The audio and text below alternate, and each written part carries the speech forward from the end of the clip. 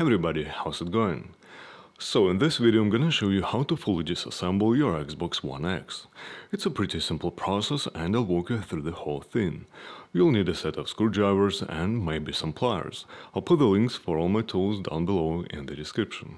So let's go ahead and start by removing these two screws. Then slide the cover forward and lift it up like so. Next we need to remove these 19 screws.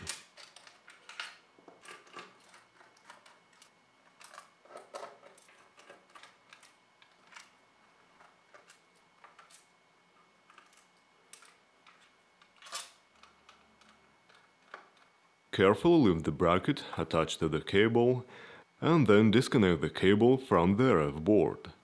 Lift the locking bar up and slide out the ribbon cable from its connector.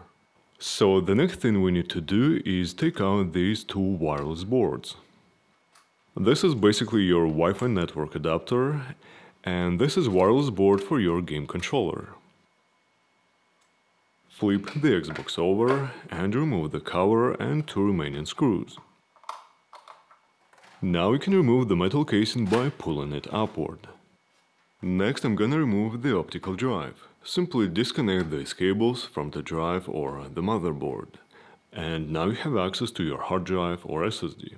By the way, I have video about upgrading Xbox consoles to an SSD drive and even to M.2 SATA SSD.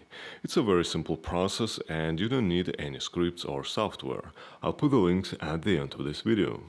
Okay, now disconnect the power and SATA cables from the motherboard and remove the drive. Next, remove the power supply with its cable simply by lifting it up and out of the case.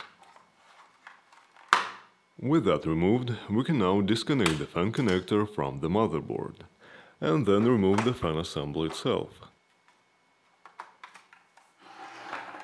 Next, we need to remove the motherboard. To do that, simply flip the case over and remove the remaining four screws that are holding the heatsink. Then grab the casing and tilt it slightly upward, like so, and then pull it away from the motherboard.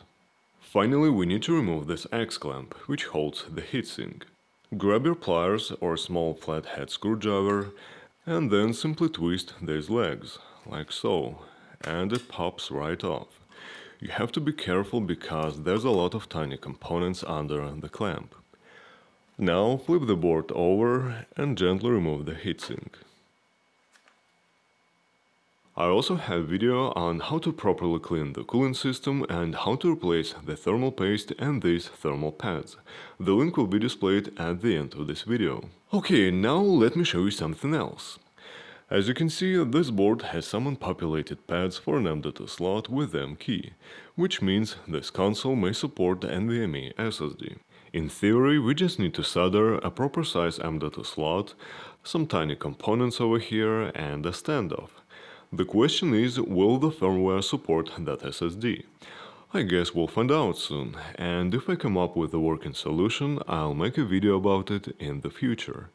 So that's it, and thank you for watching.